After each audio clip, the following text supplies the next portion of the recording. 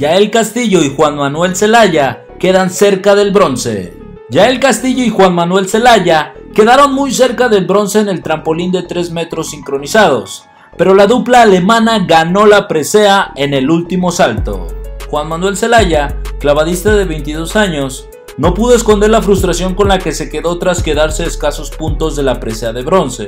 Sin embargo, también apuntó que un cuarto lugar en Juegos Olímpicos es un gran resultado para la pareja mexicana. También agradeció a su compañero de salto, el veterano Yael Castillo, quien con su experiencia lo logró tranquilizar durante la competencia. Me sentí tranquilo y Yael me ayudó a relajar los nervios.